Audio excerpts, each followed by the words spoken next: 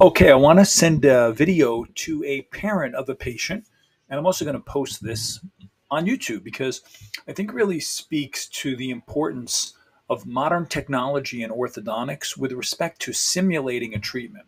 Here is the patient where she came in at the start of treatment.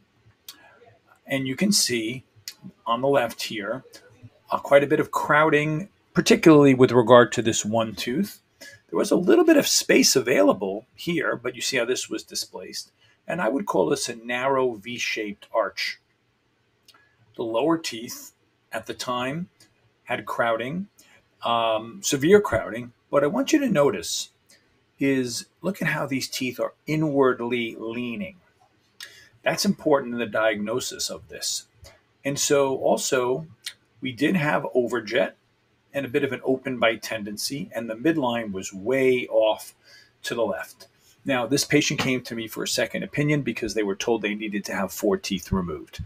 Removing four teeth in this case would not necessarily have been the wrong choice, but what I did was because we like to avoid removing teeth, and what I did was I simulated what braces and Invisalign and or Invisalign could do.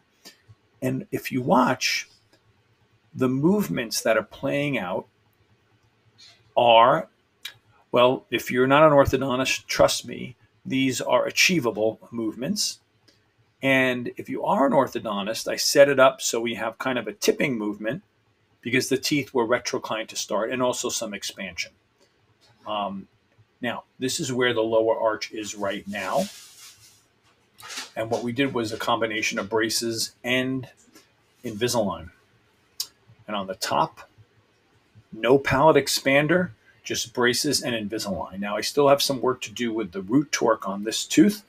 Um, here is the overbite and overjet. And here's the interesting thing.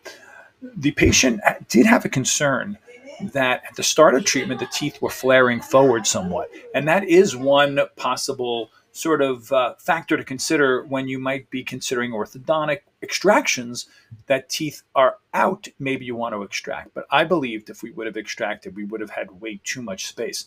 And now just by virtue of lining everything up you'll notice the projected result did have a little bit of, of flaring. But forget that. This is where we are now. That's where we started. And look at the flaring somewhat flaring. And now look how it's upright without taking teeth out. With arch expansion, very little interproximal reduction. The dad did not want me to do interproximal reduction, nor did the dentist. We did a little, but I'm just thrilled with this result. We decreased the protrusion and fit all the teeth into the beautiful uh, alignment. So, um, had I not had this tool to simulate the result, I would have removed teeth. And I believe that would have been the wrong choice. Certainly, she would have lost four healthy teeth. Uh, I hope this is interesting and uh, helpful to anyone out there. And to dad, see, we did it.